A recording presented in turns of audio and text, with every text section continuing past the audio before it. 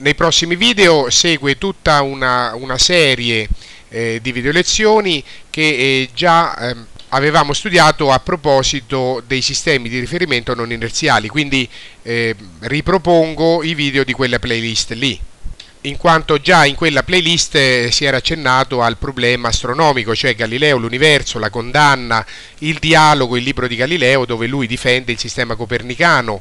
e per farlo oh, spiega e denuncia il principio di relatività, eh, cioè che quando stiamo dentro una nave che va a velocità costante non eh, ci accorgiamo di niente. Naturalmente Galileo si riferisce alla Terra, la Terra è come una nave e questo perché Galileo fa questa, questa analogia? Perché una delle critiche più importanti che venivano rivolte al sistema copernicano era che se la Terra veramente girava intorno al Sole noi ce ne saremmo accorti, ma Galileo risponde che non ce ne accorgiamo esattamente come se ci troviamo in una nave che va a velocità costante anche se va veloce non ce ne accorgiamo, cioè il moto eh, rettilineo uniforme non è, eh, non è osservabile dall'interno del sistema di riferimento, un po' come oggi noi diremmo in un treno